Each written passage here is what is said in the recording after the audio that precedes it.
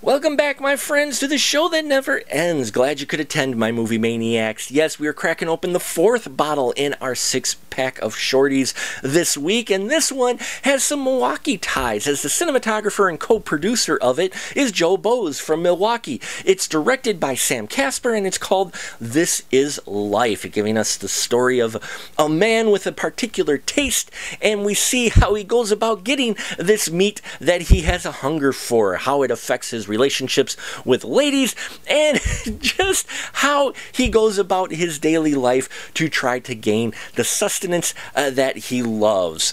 All done in a 70s nostalgia style that I uh, totally appreciate and loved. This film was highly unexpected to uh, be the way it was. And I loved that. It was refreshing, original. I mean, we get a lot of these kind of grindhouse films, but this one really just felt like it was ripped right from the 70s and brought to the screen. Not only in the uh, um, in the costuming that he has uh, for all the characters in here, but the way it's directed, we get these fun split screens like you used to get in some of the 70s films where you get the action going on in one screen and the other. You get like a, a, you know, an archive clip of meat and, and what it's about and that. And, and I enjoyed that because there's not a whole lot of dialogue in here, so you got to kind of pay attention. It does, it is a bit artsy, but it's not like, oh my god, it's artsy. No, it's done in a very, in a original approach to something that has been done many, many times before, especially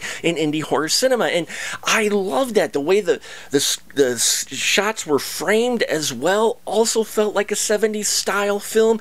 It really captured that spirit. And outside of a few minor things in here, I think it would be hard pressed to tell that this was more recently made than from the 70s. Uh, you know, I loved the music in here.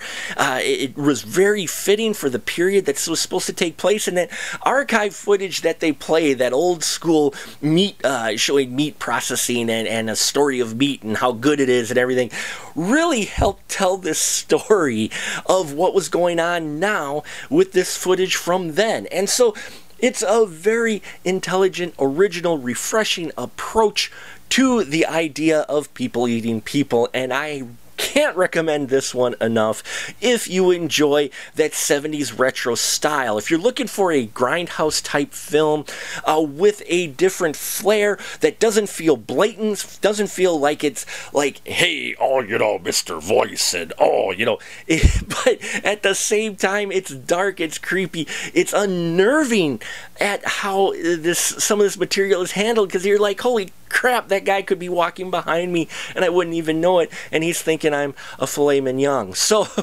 this is life is a lot of fun, and uh, again, uh, put information down below for you about it. If you happen to have seen this short, please leave your comments. Love to hear your thoughts on this short film. Please subscribe if you have not already. Thank you so much for visiting this little sliver of the internet, and until next time, remember keep that ticket stub.